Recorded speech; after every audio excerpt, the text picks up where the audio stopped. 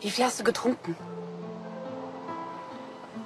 Ansgar, Nicht genug. ich habe gehört, dass das Schloss verkauft werden muss. Ansgar, es tut mir leid. Ich weiß, wie viel dir das bedeutet. Gar nichts, weißt du. Du denkst, das Schloss ist mir wichtig als, als Statussymbol, aber es ist viel mehr als das. Es ist der Ort, an dem meine Familie 800 Jahre lang gelebt hat. Es ist das, was ich meinen Kindern weitergeben wollte. Wenn ich irgendwas für dich tun kann, dann... Klar. Ich glaube kaum, dass du mir gerade mal mit 90 Millionen aushelfen kannst. Vor allem jetzt nicht, wo du nicht mehr anschaffen gehst. Ich habe auch nicht von Geld gesprochen. Klar, als Auszubildende verdient man ja nicht so viel. Und deine Näharbeit nebenbei bringt sicherlich nicht sonderlich viel ein. Du bist also immer noch sauer, weil ich deine Hilfe abgelehnt habe. Ich hatte dir meine Hilfe angeboten, aber es hat dir ja nicht gereicht. Stattdessen wirkst du mir eine rein, indem du dir von der heiligen Elisabeth helfen lässt. Frau von Lahnstein und Frau Schneider helfen mir dabei, wieder auf eigenen Beinen zu stehen. Ganz von vorne anzufangen. Verstehst du das nicht? Ja, ja, mir kommen gleich die Tränen. Ansgar, es ist das Beste so. Klar, wenn du meinst. Jetzt geh bitte, ja, ich will einfach allein sein. Du meinst, du willst dich weiter in deinem Selbstmitleid suhlen? Ich will vor allem weg von hier. Aber was soll das? Gib mir den Schlüssel. Wahrscheinlich hast du recht. Und ich kann dir genauso wenig helfen wie du mir. Aber deshalb schaue ich dir nicht zu, wie du dich totfährst.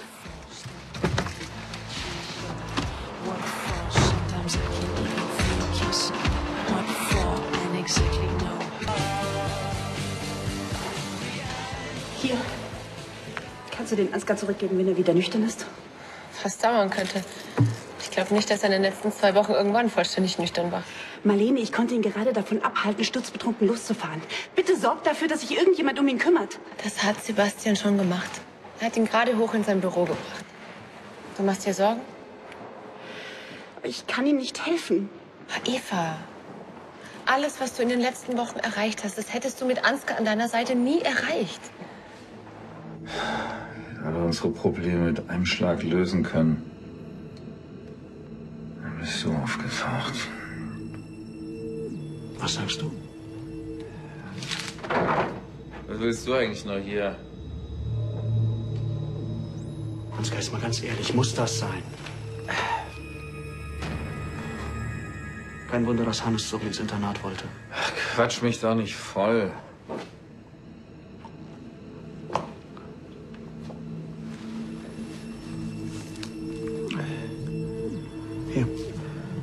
Ist für dich.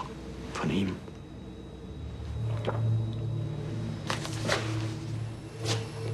Hast du eigentlich eine Ahnung, was in ihm vorgeht?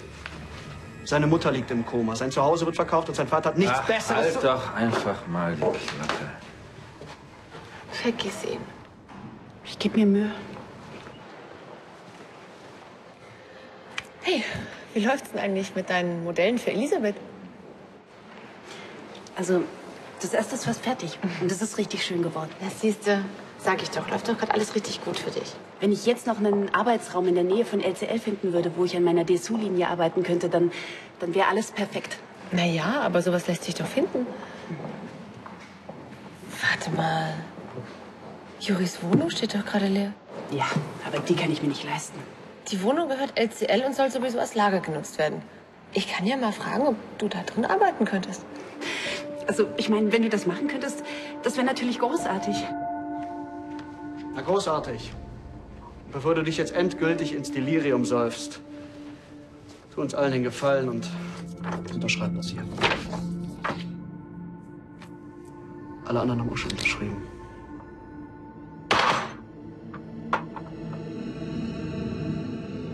Und was ist das? Die Einverständniserklärung, das Schloss zu verkaufen. Oder schreibe ich nicht? Ansgar, bitte jetzt einmal vernünftig. schreibe ich nicht.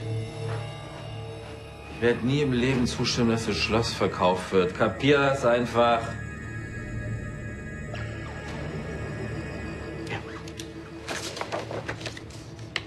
Ich frage dich dann noch mal, wenn du halbwegs nüchtern bist. Wird meiner Meinung keinen Abbruch tun.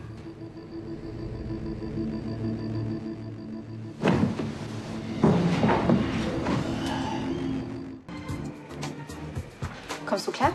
Ja. Schau mal, ist das richtig so?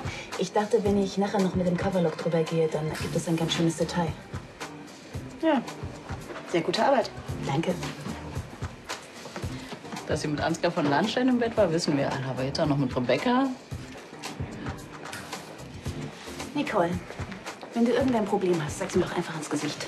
Ich habe nur gewundert, wie schnell du es hier nach oben geschafft hast. Wenn man seine Energien in die Arbeit steckt, statt sich das Maul über die Kollegen zu zerreißen, geht es ganz schnell. Probier's doch mal aus. Das war längst überfällig. Ja, und ich habe einfach auch überhaupt keine Lust mehr, mich noch von irgendjemandem runterziehen zu lassen. Nicht von Nicole und Auch nicht von Ansgar. Ganz genau.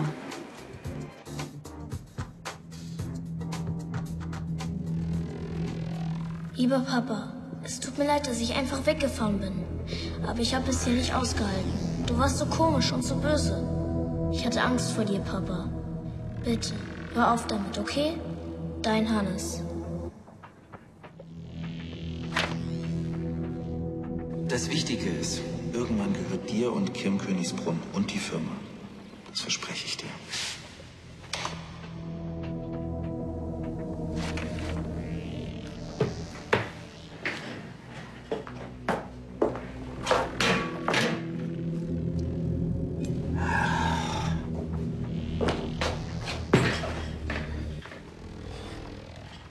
Bevor ich's vergesse, ich hab da was für dich. Die Schlüssel zu Joris Loft. Ich habe mit Sebastian geredet und es ist kein Problem, wenn du dort arbeitest. Und für Ansgar auch nicht? Ansgar befindet sich im Moment gar nicht auf unserem Planeten. Ist er denn wieder nüchtern? Keine Ahnung. Ich glaube, der schläft gerade seinen Rausch aus. Er nimmt das alles sehr mit. Er glaubt, wenn er das Schloss verliert, hat er auf ganzer Linie versagt. Ja, und stimmt ja auch. Also entschuldige, bei allem, was ich weiß, ist er schuld an der ganzen Geschichte.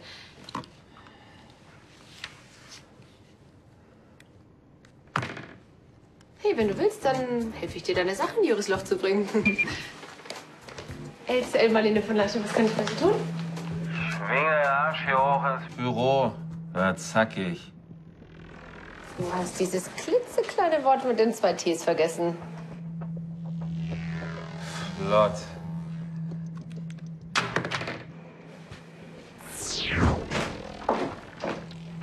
Mein lieber Schwan, das hat ja gedauert.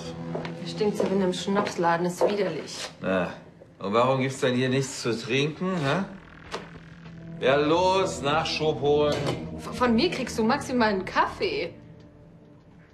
Ja, sprich ich undeutlich, oder was? Ja, ziemlich. Und versoffen. Was hast du denn heute schon alles in dich reingeschüttet?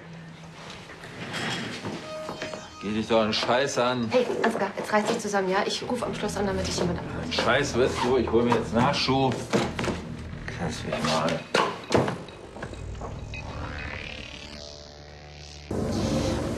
Ist wirklich okay, dass ich dort arbeite. Na klar. Ich meine, besser du nutzt die Räume, als sie vorkommen zum Lager. Naja, bis vor kurzem hat unser Stardesigner dort gewohnt und jetzt richte ich dort meine Nährwerkstatt ein. Du arbeitest in Juris Wohnung? Das wusste ich ja gar nicht. Ja, das hat sich gerade so ergeben. Okay. Ist das abgesprochen? Ja, ich habe mit Sebastian geredet und es ist in Ordnung. Also das ist jetzt auch keine große Sache. Sie stellt ihre Nähmaschine rein und wenn es mal ein bisschen später wird, kannst du drin schlafen.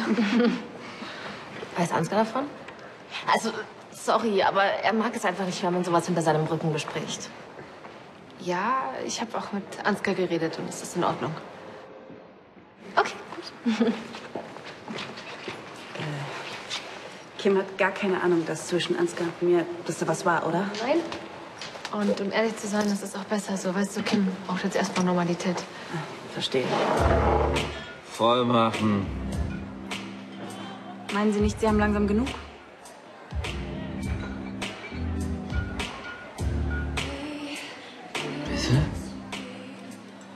Quatschen mich hier voll.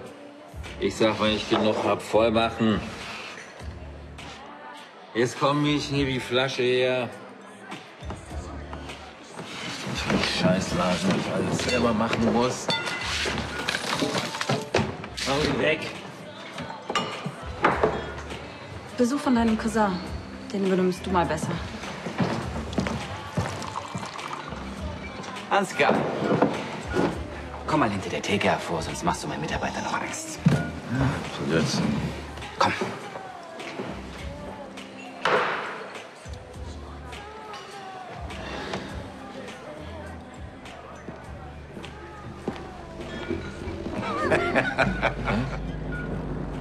Was ist denn das Arschloch hier? Berg ist nicht hier.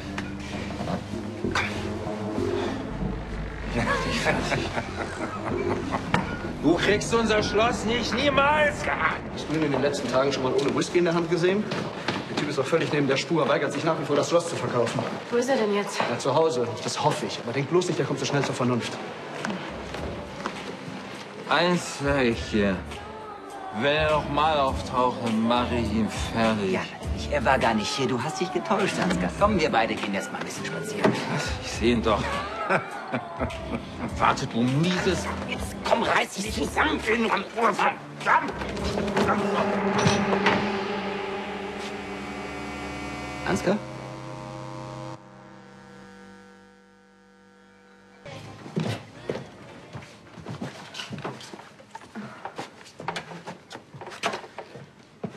Wow. So, wo soll das jetzt hin? Äh, stell's am besten da vorne auf den Tisch. Du, danke, dass du uns hilfst, den ganzen Kram hier hochzuschaffen. Wenn eine schöne Frau in Nöten ist, bin ich gerne bereit zu helfen. Alte Schule, was? Oh ja. So, Schluss jetzt mit dem Geflirte Abmarsch. Jetzt stresst mal nicht so rum, ist doch alles gut. Okay, euch dann noch einen schönen Tag. Ciao. Ciao. Ciao. Siehst du? Du kannst es noch. Was denn? Flirten? War doch nur ein Spaß.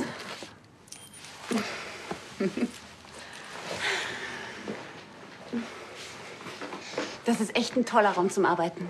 Naja, ein bisschen was muss noch gemacht werden, aber Hm, Das wird. Ich habe das Gefühl, ich kann mich hier richtig auf mein neues Leben konzentrieren. Ohne den Escort-Job. Und ohne Ansgar. Was ist passiert? Du bist im No Limits zusammengebrochen. Nachdem du angefangen hast, wild zu halluzinieren. Ich erinnere mich nicht. Ja, du hattest einen Filmriss. Könnte an der Alkoholvergiftung liegen. Tristan hat mich angerufen. Ich bin nur hier, um zu sehen, dass du überlebt hast. Warum? Also für euch viel einfacher, wenn ich ins Gras beißen würde. Könntet ihr das Schloss verscherbeln und niemand würde sich euch in den Weg stellen. Wenn es eine andere Möglichkeit gäbe, ich hätte sie ergriffen. Es gibt aber keine. Wir haben doch alles versucht. Tristan, ich, sogar du. Aber wir müssen Berg auszahlen und dafür müssen wir das Schloss verkaufen.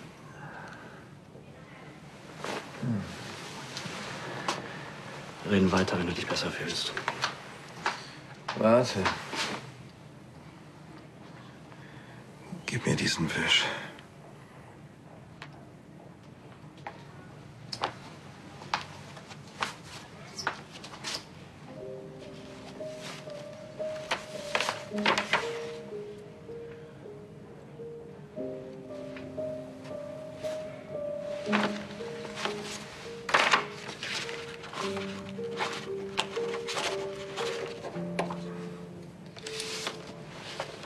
Ich weiß, du hast das nie so gesehen.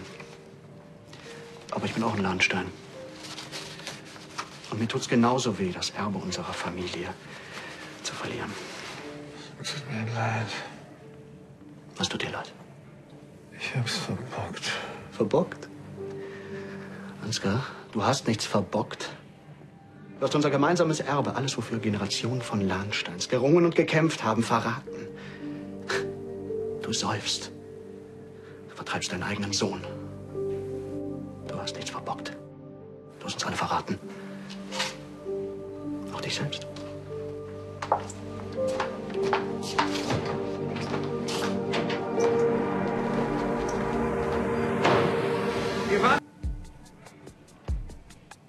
Hör zu. Irgendwann gehört dir und Kim Königsbrunn und die Firma. Ich werde nie im Leben zustimmen, dass das Schloss verkauft wird. Kapier das einfach.